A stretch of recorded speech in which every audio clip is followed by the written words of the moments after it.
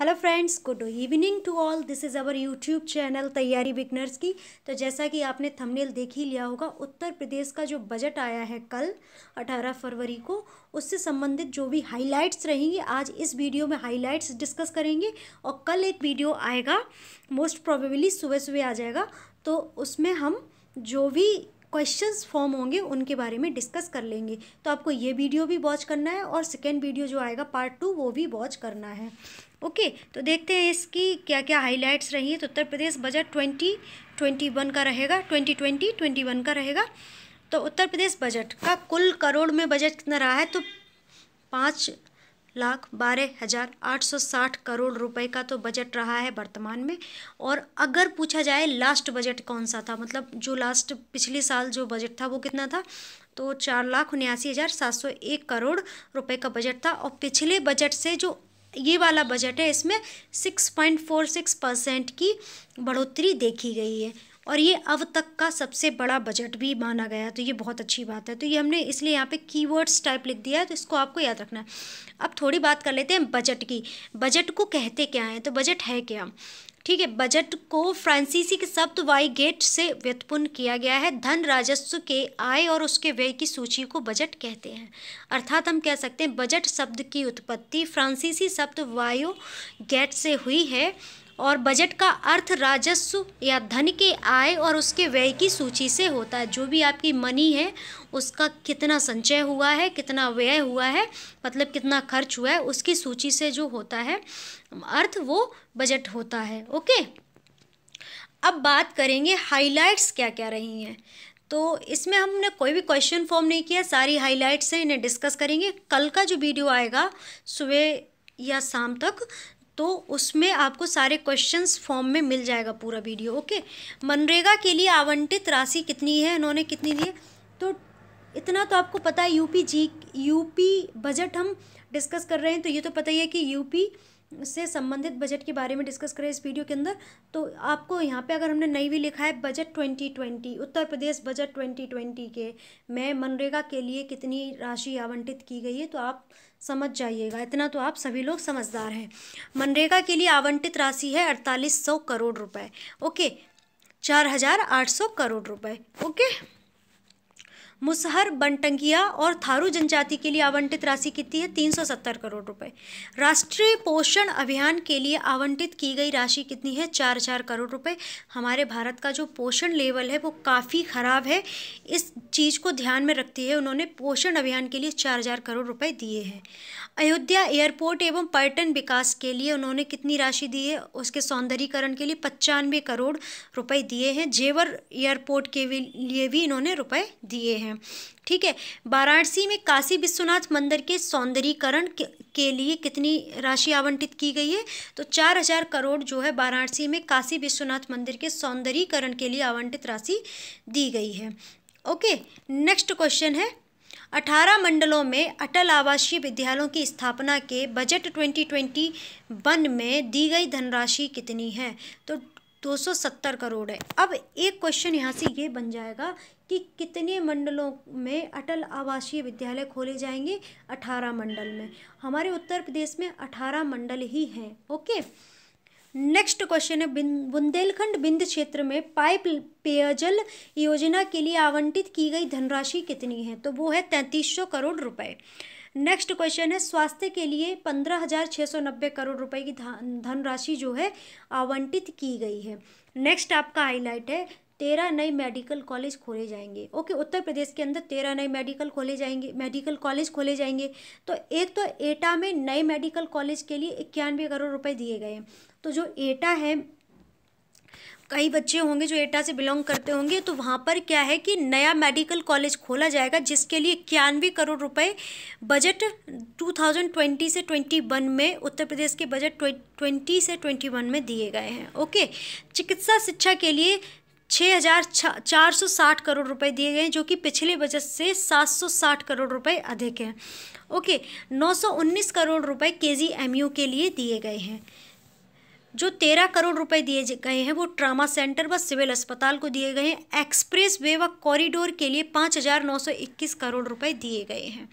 तो पाँच express way हैं। देखो, गोरखपुर इंडस्ट्रियल डिफेंस कॉरिडोर के लिए पाँच हज़ार नौ सौ इक्कीस करोड़ रुपए दिए गए हैं। इसमें देश के सबसे लंबे एक्सप्रेस वे छः सौ सैंतीस किलोमीटर को मंजूरी दी गई है। इसके लिए 2000 करोड़ रुपए की व्यवस्था की गई है। अब ये नोट बनाकर हमने इम्पोर्टेंट लिख दिया प्रयागराज मेरठ को जोड़ेगा। अब जो गंगा एक्सप्रेस वे है, वो प्रयागराज और मेरठ को जोड़ेगा और इसकी जो दूरी होगी, जो किलोमीटर होगा, वो छः सौ सैंतीस किलोमीटर होगा ये। ओके, नेक्स्ट आपका क्वेश्चन है चार हज़ार सात सौ सात सौ इकतीस करोड़ रुपए सिंचाई परियोजनाओं के लिए दिए गए हैं।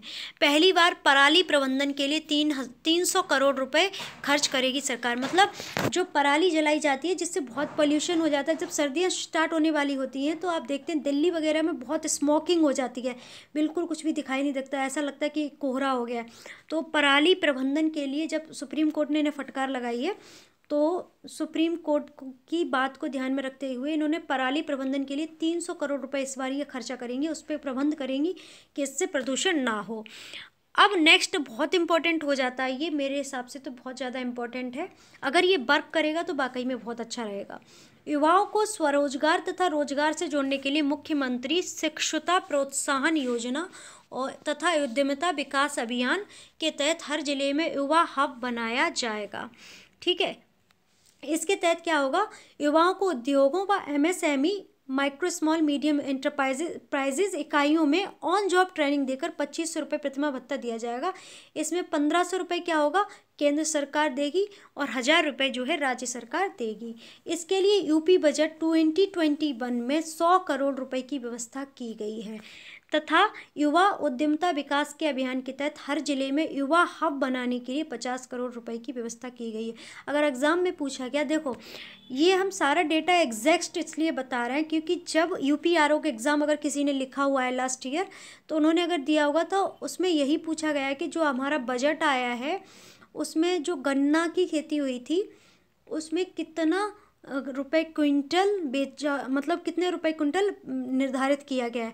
तो इस तरह के क्वेश्चंस बनते हैं। डेटा बनता है कि कितना बजट में कितना पैसा दिया गया है। ओके बजट से सीधा क्वेश्चन ये बन जाएगा कि टू थाउज़ेंड ट्वेंटी से ट्वेंटी वन का जो बजट है, वो कितना है?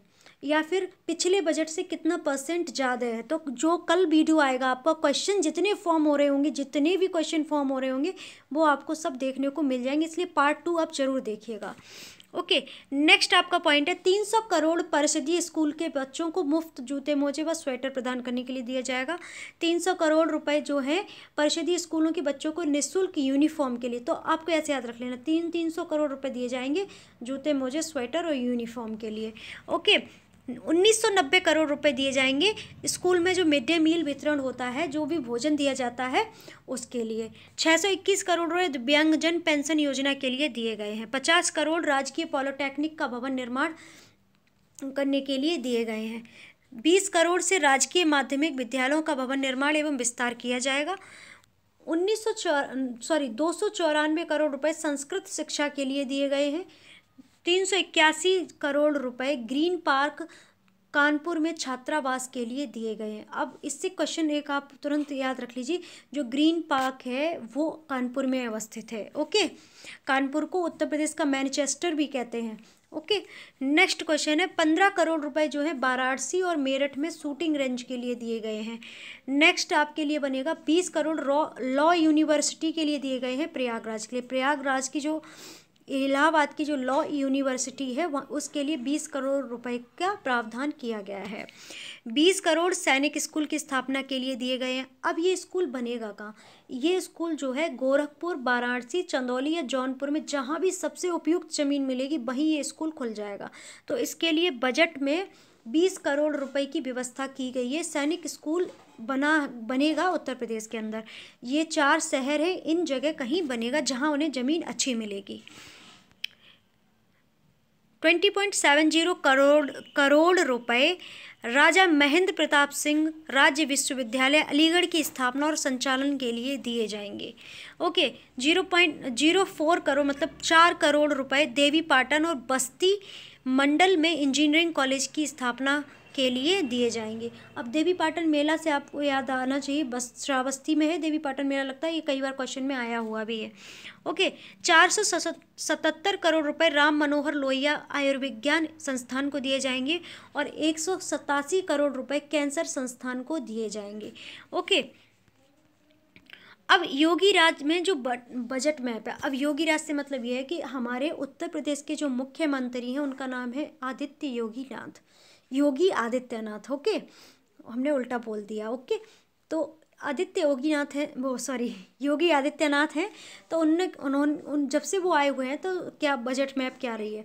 सत्रह से अठारह में जो रहा था बजट मैप वो रहा था जिसमें बढ़ोतरी हुई थी, उसमें ten point eight seven percent की हुई थी, और 2018 से 19 में जो बढ़ोतरी हुई थी, वो 11.36 की हुई थी और 2019 से 20 में जो बढ़ोतरी हुई थी 11.97 परसेंट की हुई थी। तो इसमें जो बजट था, वो था चार लाख उन्यासी हज़ार सात सौ एक करोड़ रुपए का अब two thousand twenty twenty one में पाँच लाख बारह हज़ार आठ सौ साठ करोड़ का बजट आया हुआ है, जिसमें पिछले बजट से सिक्स पॉइंट फोर परसेंट की बढ़ोतरी देखी गई है। और ये अब तक का सबसे बड़ा बजट है। तो ये आपके लिए बहुत इंपॉर्टेंट हो जाता है एग्ज़ाम के पॉइंट ऑफ़ व्यू से।